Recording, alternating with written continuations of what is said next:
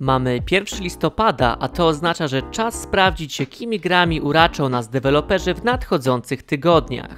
Z tej strony Rodgier, a to przegląd najlepszych premier listopada. Zostaw łapkę w górę i subskrypcję, aby ten kanał złapał trochę zasięgu i startujemy z materiałem. Przegląd najlepszych premier miesiąca otwieramy grą The Chant, która trafi w nasze ręce już 3 listopada. Będzie to psychodeliczny horror stworzony przez ekipę Brass Token, złożonego z weteranów, którzy przybyli innymi z Rockstar czy Electronic Arts. W takim wypadku oczekiwania możemy mieć raczej wysokie. W grze wcielimy się w kobietę, która chcąc zyskać odrobinę spokoju, udała się na odległą wyspę. Tak się jednak niefortunnie złożyło, że należy ona do kultu New Age, który akurat odprawia rytuał otwierający przejście do innego wymiaru. Bohaterka, walcząc o przetrwanie, będzie rozwiązywała zagadki, mordowała kultystów i odkrywała tajemnice wyspy, by zamknąć portal. Wszystko to w bardzo ładnej, realistycznej oprawie graficznej i okraszone sporą dawką psychodelii. Brzmi zachęcająco? Jeżeli jesteście fanami nordyckich klimatów, to już 9 listopada znajdziecie coś dla siebie. Na półki trafi tego dnia God of War Ragnarok, który jest piątą częścią kultowej już serii. W grze ponownie wcielimy się w potężnego Kratosa, który wraz ze swym synem przemierzy 9 światów, eksterminując przy tym całe hordy potworów. W trakcie przygody odwiedzimy miejsca oraz spotkamy postacie znane z nordyckich podań. Podejmiemy także cały szereg decyzji, które zdeterminują zarówno nasz los, jak i przyszłość całego świata. Jeśli chodzi o aspekt techniczny, to system walki otrzymał usprawnienia oraz nowe elementy. W Ragnarok użyto technologii, które znamy już z poprzedniej części God of War. Możemy zatem spodziewać się najwyższej jakości grafiki. Czy jesteście ciekawi dalszych losów Kratosa? Dajcie znać w komentarzach.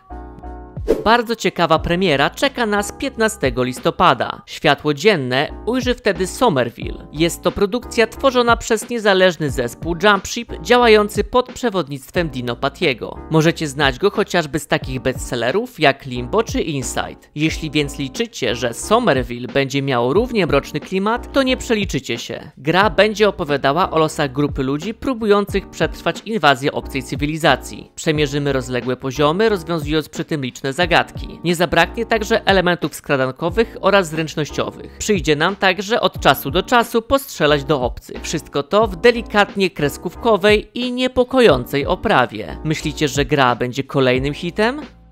Call of Duty Warzone doczekało się swojej wersji 2.0. Sieciowy FPS będzie kontynuacją poprzedniej części i ma stanowić uzupełnienie uniwersum znanego z Modern Warfare 2. Wprawdzie gra będzie różniła się niewiele pod względem rozgrywki od pierwszego Warzone'a, to wprowadzono do gry sporą liczbę zmian i poprawek. Otrzymamy także nową mapę, czyli pustynne Al-Mazrach. Na mapie napotkamy wiele niezależnych postaci kierowanych przez sztuczną inteligencję. Jeśli otworzymy do nich ogień, nie pozostaną nam dłużne i będą będą nas atakować. Jeśli chodzi o samą rozgrywkę, to jest ona skupiona przede wszystkim na trybie Battle Royale, który został zmodyfikowany na potrzeby koda. Dodatkowo w grze będziemy mieli możliwość kupienia nowych limitowanych przedmiotów, których liczba będzie mocno ograniczona. Wszystkie te rozwiązania mają zarówno swoich fanów, jak i sporą liczbę przeciwników. O tym, jaki będzie odbiór gry, dowiemy się już 16 listopada. A czy Wam podoba się kierunek, w którym od jakiegoś czasu idzie seria Call of Duty?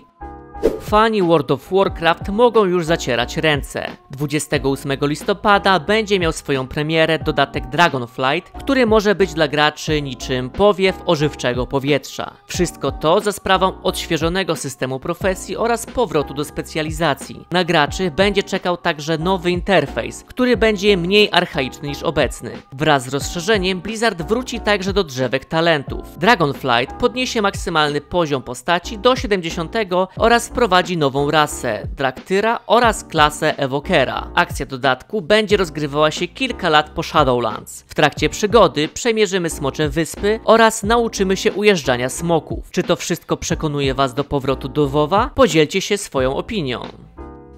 Przegląd najlepszych premier miesiąca kończymy kolejną odsłoną kultowej już serii gier wyścigowych od EA. Mowa oczywiście o Need for Speed Unbound, która ujrzy światło dzienne 29 listopada. Jeśli jednak myślicie, że będzie to tylko więcej tego samego, to czeka na Was miłe zaskoczenie. Nowy NFS zaprezentuje nam zupełnie nową estetykę. Nasze oczy będzie cieszyło połączenie realistycznej grafiki z elementami kreskówkowymi inspirowanymi sztuką uliczną. Co więcej, jedną z postaci w grze został znany amerykański raper A$AP Rocky, który nagrał także do niej utwór. Jeśli chodzi o samą rozgrywkę, to w nasze ręce trafi aż 150 modeli samochodów, którymi będziemy ścigać się w ulicznych wyścigach. Dzięki poprawionemu silnikowi fizycznemu możemy liczyć na lepsze wrażenia z prowadzenia pojazdów. Poziom ma być zbliżony do symulatorów jazdy. Czy EA podoła takiemu wyzwaniu, dowiemy się już niebawem.